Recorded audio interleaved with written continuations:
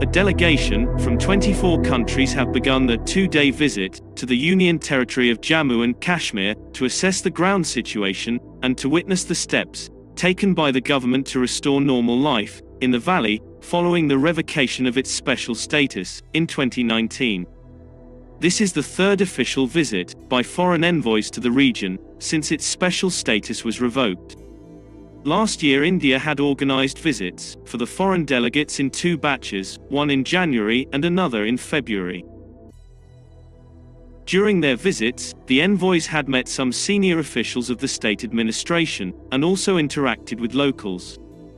This latest visit by the third group of diplomats comes after two significant developments in the region the restoration of 4G internet services after 18 months, and the successful conclusion of local body polls.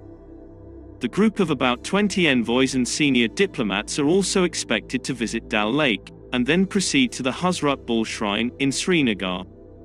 They will also meet elected representatives of local bodies and interact with some media persons from Jammu and Kashmir.